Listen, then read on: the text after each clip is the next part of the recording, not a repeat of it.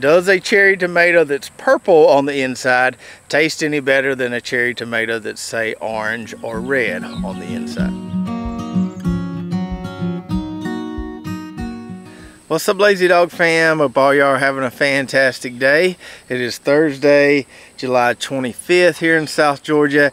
And as the title of this video suggests, today we're going to give our honest, unbiased, complete, exhaustive review of this GMO purple tomato that we grew this year. So recently I posted a little short one minute video on our social media pages talking about this tomato here and it was obvious to me from the responses and questions we got that I should do a more detailed review so that's what we're going to do here. Now back in the spring when we decided to grow this purple tomato, we did a video talking about what makes this tomato unique and I gave you my stance on GMOs in general and I want to recap some of that real quick before we get into the performance of these plants and the fruits themselves. So this is the first GMO tomato where seeds have been available for backyard gardeners or home gardeners to grow. There have been GMO tomatoes in the past, but they weren't really picked up. They weren't really well received by the consumers, and so they never really took off. This one here, when these seeds were available back in the spring, anybody could go online and buy these, no matter if you just had a tiny little garden or if you were trying to grow these commercially.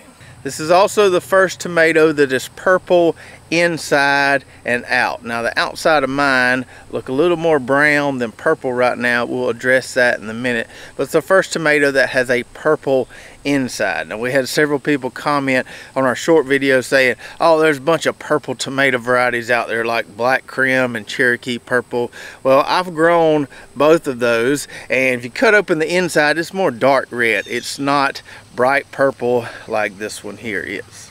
And so the way the seed breeders were able to engineer a purple interior on this tomato is they spliced in a gene from a purple snapdragon. So that's what makes this GMO or transgenic.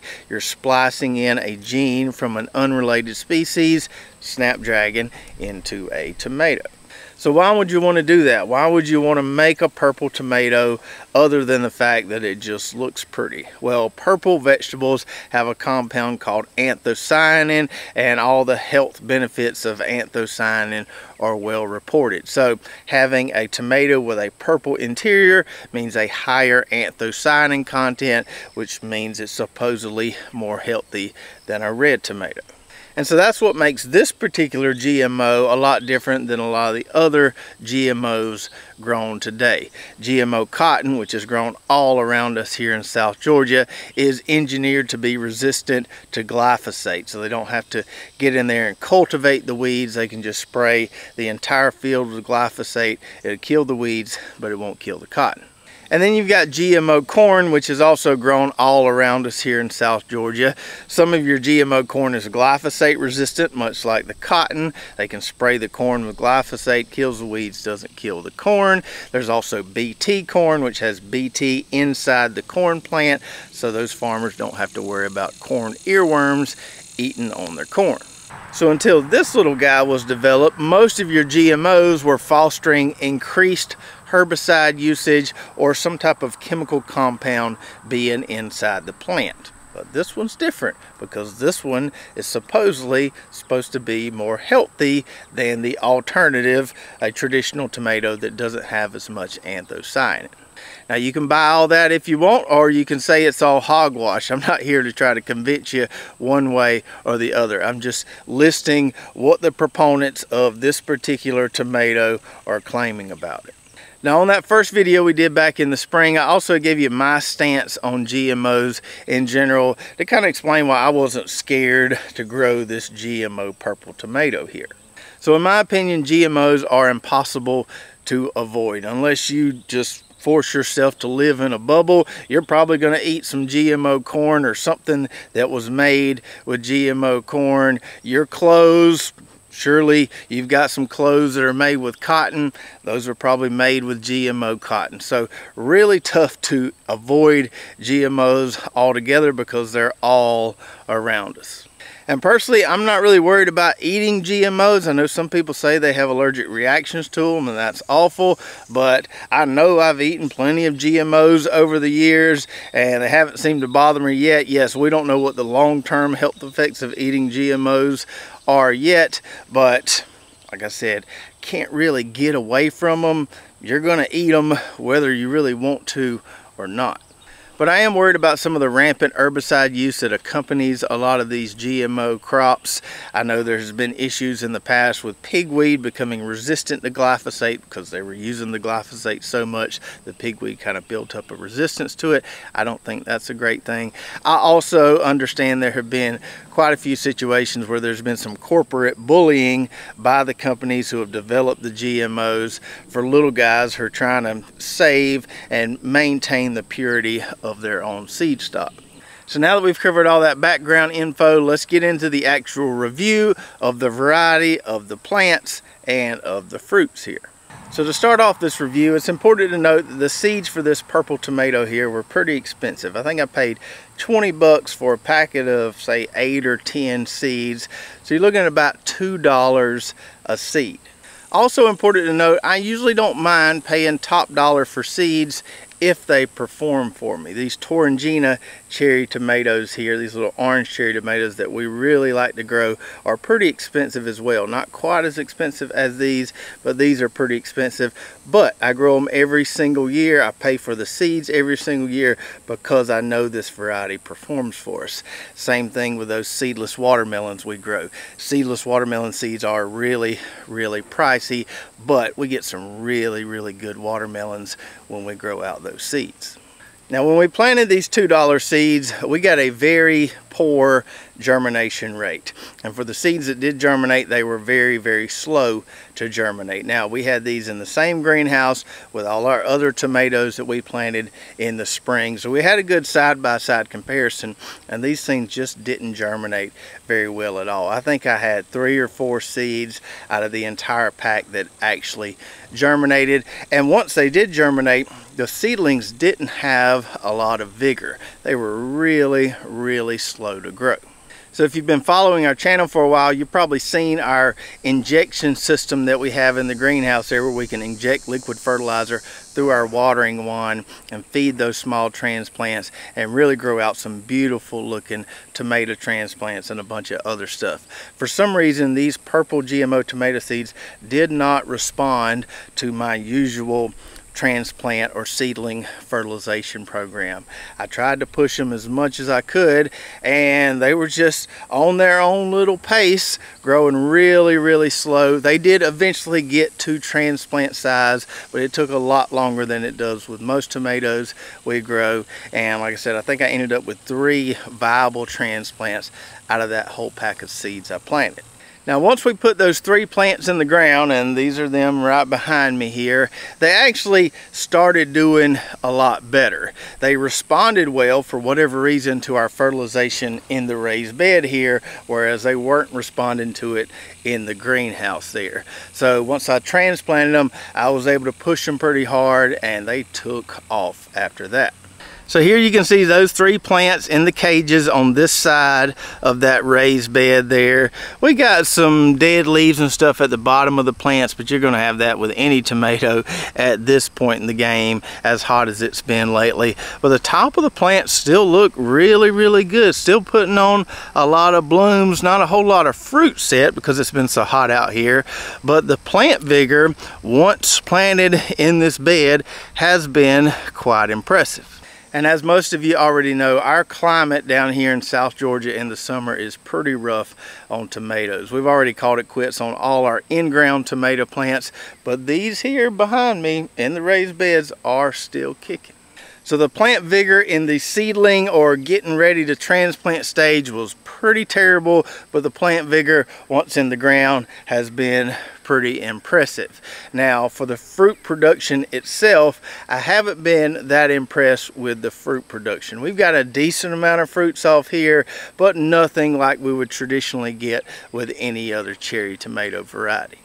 Now that could have something to do with the fact that we planted these things late. We didn't mean to plant them late, just took that long for us to get some transplants ready to go in the ground. So they did get planted a little late and it may have gotten too hot for them to set fruits. So that may be why our fruit production has not been as great as it should have been, but important to note nonetheless. Now let's talk about the fruits themselves. Now as you may have noticed from me waving this little jewel around for the last few minutes, these are not very big tomatoes. They are on the larger end of the cherry tomato scale, but I would still call it a cherry tomato. They're bigger than those Toronjina orange cherry tomatoes I showed you earlier. Bigger than most cherry tomatoes we grow, but still not very big. They're about the same size as a large muscadine, in my opinion. And that was one thing that wasn't made very clear on the Norfolk Seed website when I purchased these seeds.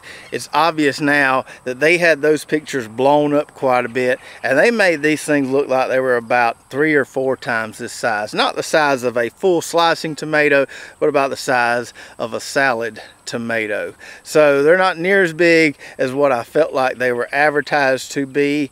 And uh, maybe there's a reason for that. I don't know, but now you can see just how big they get.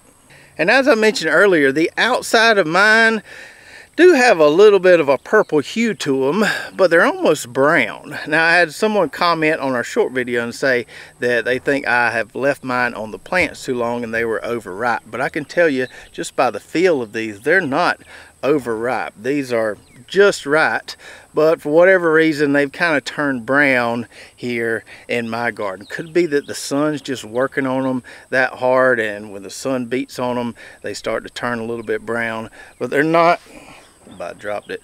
They're not as purple as the pictures I saw on the website when I bought these seeds. But the inside of these, which is supposed to be a nice, vibrant purple color, is as advertised. You can see the color right there. Hopefully the light lets you see that. So I've never seen a tomato that looked like that on the inside. So that part is advertised and with it being purple like that, there's no doubt in my mind that it has more anthocyanins than a traditional tomato does. And now the question that I'm sure everyone is wondering, does a cherry tomato that's purple on the inside taste any better than a cherry tomato that's say orange or red on the inside? Now I've obviously already eaten quite a few of these, but we'll try once again just to make sure here. They're pretty meaty. They got a really good texture to them. The flavor just doesn't pop. It is very, very average in my opinion. It's not awful. It's not the worst tasting tomato I've ever had, but it doesn't blow your doors off either. This, in my opinion, doesn't even come close to that orange Toronjina I showed you earlier. So very, very average on the taste scale, in my opinion. Now I have heard some people say that they absolutely loved it. Best tasting tomato they've ever had. Just knocked their socks off. I don't know if those people maybe haven't tried a bunch of different cherry tomatoes or maybe they taste better in some people's gardens than they do in my gardens but I'm not blown away by it important to note some people do seem to be blown away by it though so that's our comprehensive review of the plants and the fruits themselves. Now another question we've been getting a lot lately, would you grow it again and are the seeds worth the money? So to answer that question, no, I would not grow it again. Although these are mighty, mighty pretty, the lack in taste and flavor doesn't warrant me giving this variety a spot in my garden in future years. So I'm not going to grow it again. I'm not even going to save any seeds from these. I should have mentioned earlier, just because something is GMO doesn't mean it's also not open pollinated. So you can save the seeds from these and replant them. You just can't sell the seeds based on the terms you agree to when you buy the seeds from the Norfolk Seed website. And to answer the second part of that question, no, I don't think these are worth $2 a seed. There are some seeds out there that are worth paying $2 a seed, but this isn't it. However, if you're just curious and have an extra 20 bucks laying around, not going to hurt to give them a try at least once. Like I said earlier, there are some people out there just raving about the taste of these things, although they don't impress me at all. So you could fall into that bucket and you could just fall in love with these things as opposed to just feeling kind of meh about them like I do. As far as my long-term prognostication on this GMO purple tomato goes, I'm not sure it's ever really going to take off and be a home run for the backyard gardener market. I know there are a lot of people that wanted to try it this year that couldn't try it because they either ran out of seeds or quit selling seeds in say late spring. So I'm sure next year they'll have a lot of people that heard about it, maybe even via this video, that want to give it a try at least once. But I just can't see them getting a lot of repeat buyers for these seeds out there. Yes, some people will save the seeds and replant them. Just can't imagine someone growing this and thinking, yeah, I got to buy some more of those next year.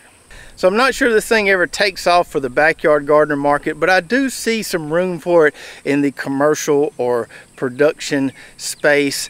I could see where restaurants would like to put this on a plate because it looks so pretty here if people could get past the idea that it's GMO. So I could see where high-end restaurants might want to have some of these in their dishes. I could also see these, assuming the outside was purple like it was supposed to be, I could also see these being sold in grocery stores as long as the GMO part didn't scare people. You know, a little clamshell of these would look really, really pretty on a shelf, especially if it had a picture of what the inside looks like. So there may be some room for it on the consumer side, but I don't know that it ever becomes a staple in a majority of backyard gardens across the country. So I hope you enjoyed the video today and if you grew this GMO purple tomato please do share in the comments below how it performed for you, how you thought it tasted and if you missed that first video where we went into a little more detail about GMOs and this specific variety you can see that right here. So check that out and we'll see you next time right here at Lazy Dog Farm.